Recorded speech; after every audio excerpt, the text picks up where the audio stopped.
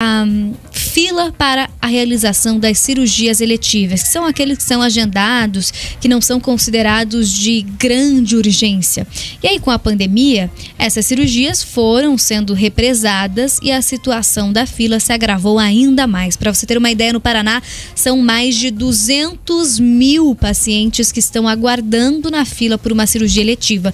Quando a gente fala de cirurgia espe cirurgia especializada, a fila de espera chega a ser ainda maior, contando com cerca de 300 mil pacientes na fila. O governo federal anunciou um programa para tentar diminuir estes números. Quem vai trazer os detalhes para a gente em uma reportagem especial.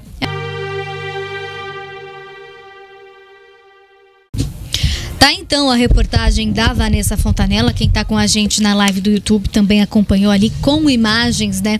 Todo esse conteúdo. É um problema que precisa ser resolvido ao longo desse ano, né, Riva? A gente está falando de cirurgias que não colocam em risco a vida desses pacientes, mas que em muitos casos, como a gente viu ali o mestre de capoeira, fazem com que essas pessoas fiquem isoladas da vida em sociedade porque não tem qualidade de vida para conseguir fazer tarefas simples do dia a dia. Então, que são extremamente importantes e precisam acontecer o mais rápido possível. É. é eu me lembro que na época da pandemia, Manu, logo que teve o primeiro fechamento em 2020 ficou dois meses fechado, eu precisava fazer uma cirurgia de varizes.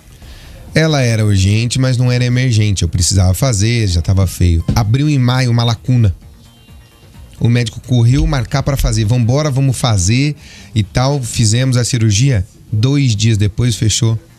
E tudo de novo. a represar de novo a fila. Assim, nós precisamos de uma solução definitiva. Esse sistema de mutirões vem desde a época em que talvez um dos maiores ministros da saúde da história tenha sido José Serra, e foi mesmo, nesse sentido foi mesmo, é, de, de potencializar o SUS. Ele fez aqueles mutirões, lembra? Mutirão, mutirão, mutirão. Mas o mutirão ele resolve o problema agora e de forma esporádica para algumas pessoas. É preciso que a gente crie soluções para o SUS, em parceria inclusive com os hospitais particulares, de repente pagar também esses hospitais para fazerem essas cirurgias e definitivamente você trazer uma solução para a fila. Se é uma fila que nem dizem, uma fila que anda, uma fila que não para, ela não pode ser estanque. Tem alguns momentos que essa fila é estanque, ela para completamente. A pandemia piorou muito isso. Então vamos trazer essa solução pontual. São 600 milhões de reais que vão ser colocados agora para essas cirurgias eletivas rápidas, para fazer para já, para ontem. E depois você tem que fazer essa fila andar. Tem que ser um, um constante caminhar dessa fila. Eu estava em São Paulo durante a pandemia, né, Riva? E eu lembro que por lá, durante alguns períodos mais leves, se é que a gente pode chamar assim, da pandemia, o governador João Dória fazia uma parceria com a iniciativa privada, então com hospitais privados, e durante a madrugada fazia mutirão de cirurgia, Era utilizando é, a estrutura dos hospitais privados, também a mão de obra de médicos que estavam lá como voluntários para fazer isso, e eles conseguiam fazer muitas cirurgias durante a madrugada, então eles conseguiram fazer com que essa fila não fosse tão grande como aconteceu aqui no estado do Paraná.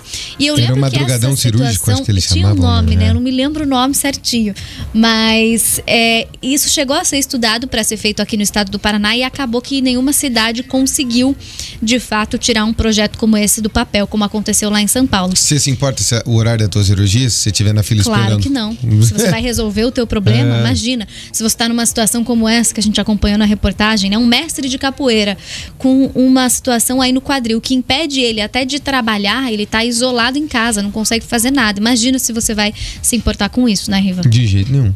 Desde que você realize a cirurgia, tá feito, né?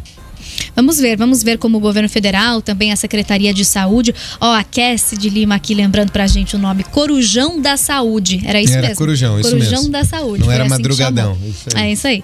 O Corujão da Saúde, o Dante ali também colocou. E funcionou bem lá em São Paulo, nas vezes em que aconteceu. Até não sei se o Estado continua fazendo isso, né? Agora não tá mais na gestão é, do governador João Dória, nem do vice dele que tinha assumido quando ele se afastou, mas enfim. Vamos ver qual vai ser a solução aqui. A gente está acompanhando essa situação bastante de perto. Agora vem também esses recursos do governo federal para que a gente consiga melhorar esses índices.